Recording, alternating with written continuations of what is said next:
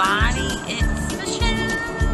Uh, we're coming back from Monroe, North Carolina. We had, uh, I don't know what he's doing, it's distracting me.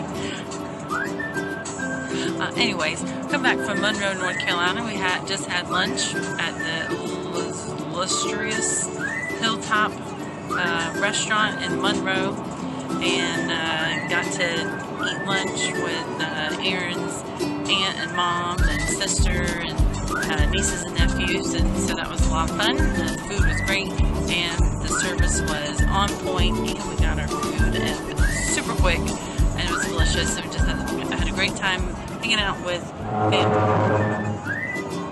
I didn't know you were going to play I just make sure it's in focus.